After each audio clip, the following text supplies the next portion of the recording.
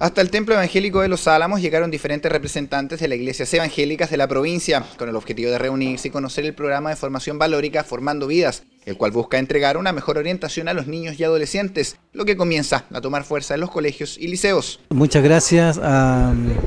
los pastores que estuvimos reunidos en esta reunión, donde estuvimos finalizando ya, eh, posteriormente a lo que veníamos por mucho tiempo negociando en conversaciones con las autoridades, más de ocho años, en cuanto a lo que es las clases de religión evangélica en nuestra comuna. Hoy día podemos decir, gracias a Dios, que esto se ha concretado, hemos llegado a un feliz término y damos gracias a, las autoridades también, a la primera autoridad que también tuvo la voluntad, a don Jorge Fuentes, eh, por dar esta iniciativa de, su compromiso hacia la iglesia evangélica en nuestra comuna. Bueno, el participar en esta actividad es precisamente por la responsabilidad que se me ha asignado como coordinador de las de las clases de religión evangélica en nuestra comuna.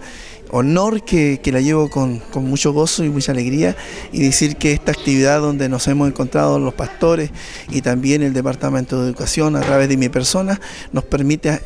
aunar alianzas estratégicas para que la palabra del Señor, los principios y valores que están establecidos en la Escritura también puedan ser asimilados por nuestros estudiantes, que deseamos una comuna mejor, que deseamos que los jóvenes, nuestros niños, eh, tengan mejores oportunidades, tengan principios y valores que les permitan vivir que les permita desarrollarse y desenvolverse de la mejor manera. Los invitados especiales de esta actividad, los pastores Rocky Malloy y su esposa Joski Malloy, de origen estadounidense, se mostraron muy agradecidos por el buen recibimiento que les entregó la comuna. En la comuna de Los Álamos hemos sido recibidos de manera maravillosa. Nunca he recibido, nunca he sido recibido de tal forma que aquí en Los Álamos. Yo sé que hay un eh, trabajo grande para Los Álamos de hacer, hasta ahora ha sido el eh, lugar más pobre de Chile, pero yo creo que eso ha venido a un fin. Yo creo que con todo lo que está pasando acá, están alistándose para un gran cambio. Por su parte, el pastor Reinaldo Spelker de la ciudad de Cañete dio a conocer importantes noticias en materia de educación, ya que tres de los institutos bíblicos de teología serán reconocidos por el Estado chileno. Así que si todos los papeles funcionan adecuadamente,